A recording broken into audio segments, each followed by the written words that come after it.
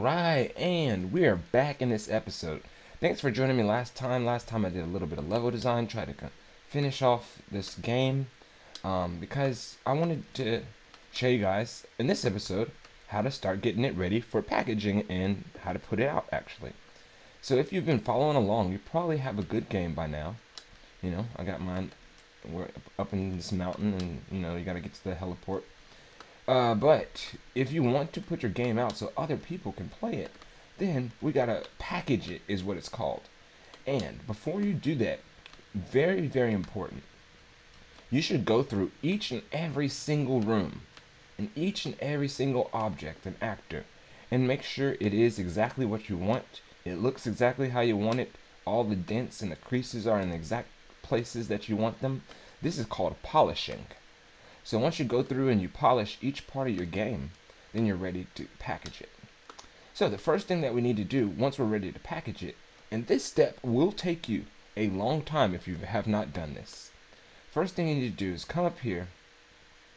Um, you know, I, I don't think you know this is necessarily a good uh, a bad order of things, but just to get this out the way, where it says platforms, click on platforms, find the platform you're trying to mix it down to.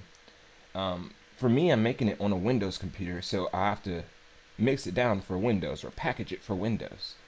Now, when you package a project, what's going to happen is all of the textures and everything has to cook or bake it, or they like they cook into the package.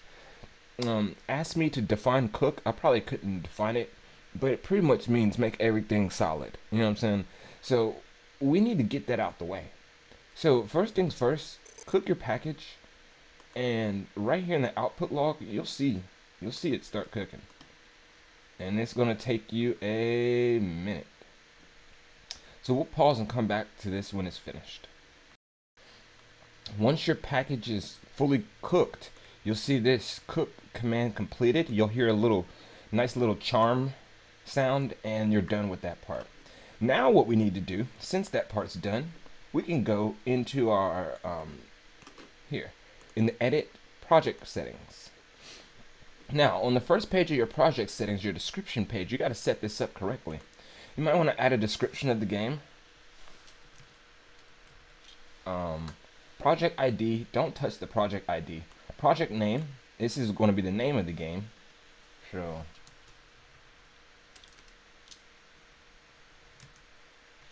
uh, I'm going to call mine Horror 2 the project version, this is when you start letting out updates. Because this is the first version, we're going to put it out as 1.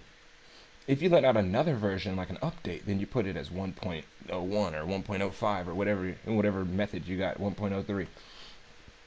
Um, down here, company name, you can fill all of this stuff out. This is really good to have all this stuff filled out. But if you don't, if you don't have it all filled out, it's all good. For me, I'm gonna put the company name. It's Quinnful. Quinnful Games, um, and QuinnAnthony.com. Perfect. We got my website in there. Uh, private policy, a privacy policy. You should always have one of those. Um, and you can kind of get the templates offline for those. Find a game that you like, and then get the template, and then use that. You can also connect it to your website. That's where I have my privacy policy usually connected up to my website. All right, and, and, and literally privacy policy is a sentence or a paragraph. It's not too much. Okay, everything was good on the description page. Now what we need to do is come down here and we need to come through a couple of these. So maps and modes. Make sure that your editor startup map uh, uh editor startup map doesn't matter. That's what's going to happen every time you open the editor. But every time you open the game, you want it to go to the first level. Our first level is the title level. So that's where we want it to go. Um, the rest of this, we don't need any of this right now. Okay, next is, uh, let's say packaging, right here. Here's in the packaging. Okay, so there's a couple things that we need to hit up in here. Uh, for example, the build configuration. So we want to do this for shipping. Shipping means like you're shipping it out to the world. So we want to get it ready to go out to the world. So change that to shipping. Um, what else do we have down here? You could do a full rebuild if you wanted to, but I'm not going to do that one right now. Cool. And now let's go to supported platforms. This is going to show you all the platforms that are supported. Um, and then target hardware. We're doing this for a desktop. Perfect. We're, we're almost finished here. Let's go down, down, down to platforms where it says Windows because I'm making this for Windows. And if you're making it for Windows, just follow along. But whatever platform you are making it for, click on that platform. And we need to set some of the settings here. So here is where you add your splash, uh, your game splash picture or your splash screen and your game icon. Now, it has specific specifications for the icon. As you see, it has to be 256 by 256 to add a game icon. So in Photoshop or wherever, go and make a game icon and just make sure it's 256 by 256 pixels. Um, going down further, that's it. I just wanted to show you where you set the pictures up for your game. Um, and after that, I think we're good. We can go ahead and click X. um, one more thing before we get started, there's a button called Build. And you want to build all levels. Build HLODs save selected, and give it a second to build. And then after this, we're going to package the game. So I will unpause it when mine finishes building. Alright, so I got a little message, and that means it's finished building. Everything looks good. So now we're ready to package the game. So come up to here to platforms, and go down to your windows, and just click on package project. Now, it's going to ask you where do you want to save this at. And I'm fine saving this here. Um, but if you want to access it quickly, you can just save it on your desktop. That's fine. Once you start packaging your project, you're going to see the output log come up. Now, this is like reading matrix code, but it's all good. You're going to see everything that's happening here. And you'll be updated on literally everything that's going on. So just keep an eye on your output log um, so you can see what's going on and then you gotta wait because this pro this process also takes a minute. So what I'll do is I'll pause the video and I'll unpause it uh, once the package project uh, once the project packages, and then I'll show you where to put it. Okay, once your package is completed, uh, once you're finished packaging your project, you're gonna get you know all this little matrix code. But the most important one, most important parts of this code that you want to see is stage command completed package command started, package command completed, everything that says completed, and you want to see this right here. The exit code equals zero success. As long as you see that and you hear the little charm that goes, then you did right and your game is packaged. So what we can do from here is we can actually close down Unreal.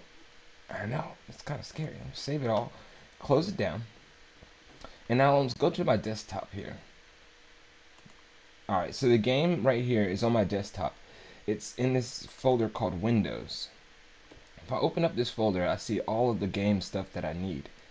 Now, uh, let's actually right click on the folder and see how big it is. That's very important. This folder is only 482 megabytes. Very small. So, in order to get this ready to go, we're going to put this on itch.io and I'll show you how to do such. Um, the first thing you want to do is open up itch.io and make sure you have an account there. I believe it's free to get an account on itch. Um, but once you're on itch and you got your account, go over here to your name and then you can you can see all the games that you've put out right here. Now in order to add a new game, what you want to do is create um, a new project. So click on your name or the drop down, sorry, and then upload new project. Now, from this screen, you're going to fill out the title of your game. You're going to fill out the cover. Uh, and the cover, you know, you pick a picture that you find. It could be anything. It, there are specifications for the cover. Uh, it has to be minimum 315 by 250 um, or 630 by 500. So that's as small as it can be. Uh, but you just pick a picture here. I'm just gonna pick a random picture here. Okay. And then you fill out the rest of the details. So here's the link that people will get. You can actually customize that. You can put a description or tagline. This is very important because, you know, when you're looking through games, the tagline is something that actually hooks you. So put something very creative and catchy here. Like, ooh, chaos, cool game. You know, just put some something that's going to catch somebody's attention. Classification, um, you could say what project you're putting out. Obviously, we're putting out a game. Is it downloadable? Is it a, you know, yes, it's downloadable. Um, release status, you can say if it's in development still, on hold, prototype, whatever. Here's where you can see how much people will pay for your game. Now, if your game is, I can't tell you what to put. Put whatever you think your game is worth, right? If you think your game is worth $500, then you click paid and you type in $500 as the minimum price. Um, usually for games that I make where it's not that serious, I usually say zero or donate. And if anybody wants to donate, that's fire. You know what I'm saying? I love donations. Going down further, this is where you actually upload your file. So, it says the file size limit is one gigabyte, right? Um, if your game is bigger than one gigabyte, then what you're going to have to do is you're going to have to add this file right here, an external file. So instead of add uploading your file, you just have to add external. And this is only if it's bigger than one gigabyte. Adding an external is just going to basically ask you uh, which platform you're putting it out for. So me, Windows. Um, and then you can, oops, you can fill out your um, link here. So you can also upload your file as well. Uh, let's see. The difference between the two, I guess I'll tell you because I've done both. The difference between the two is if you do the executable, if you do the external file, what's going to happen is when you put out an update, people are going to have to re-download that file. I think that when you do the update on the actual itch store for this, um, when they don't have to download, if it's under one, then it kind of just pushes that update to them. I'm not 100% sure, but I think that's what I saw. Regardless, we're almost finished. Put the details about your game. This is very important. Describe your game. Make it a fun description. Write it out first before you try to freestyle it. Uh, also, this is important too. Give your game a genre. If you don't know about genres of games, you might want to go study it so you can figure out which genre your game actually fits in. Mine would be more so an action adventure. I mean, uh, tips uh, tags, I'm sorry, tags, these are ways that people can find your game on itch when they're searching for your game. So if it's like a platformer or it's 3D or it's got like, I don't know, artificial intelligence or something like that. You put all that kind of stuff here as the tags so when people are looking, they can find your game. Any links that you have for this game anywhere else, you can also plug them here. A custom noun basically is asking you, instead of calling your stuff a game, what do you want to call it? Do you want to call it a project? You want to call it uh, masterpiece, you type it in here, and everywhere it says game, um, it's going to replace that with whatever you type there. And then lastly, the download and install instructions. This is going to teach somebody how to download your game and install it. So if there's specific instructions, like, hey, uh, put this on this folder and blah, blah, blah, you know, put all that here. Also, what I do in here is I put the controls like the key binding. So if somebody's playing with a keyboard or if they're playing with the mouse, uh, the gamepad, I'll put the controls and what they do in this download and install. Um, community, you can disable comments. I always allow comments because comments are good. And then visibility. Make sure if you're wanting this to go out, you make sure it's on public. Once you have all of this filled out, that's all you need. You can save and view page. And your game is going to be out there to the masses for free. So you'll be able to have your own itch page just like mine with all of your games up here as you continue to make games. So that is all I wanted to show you today, guys. And I, I, I really, really appreciate you guys for following me through this series. Um, I think this is going to be the last episode of this series. Uh, the next series, I was thinking about doing like a devlog series on this game that I'm working on. It's really, really cool. I don't think I've ever shown a clip of it at all. But uh, at the top of the year, what I was going to do is start another tutorial series, and we're going to do some like like horror survival, no powers, more realistic stuff. And I got this suggestion from a comment, so thanks for the person who commented that. But other than that, I will holler at y'all next time. Appreciate y'all for joining me. Have a beautiful day. Peace.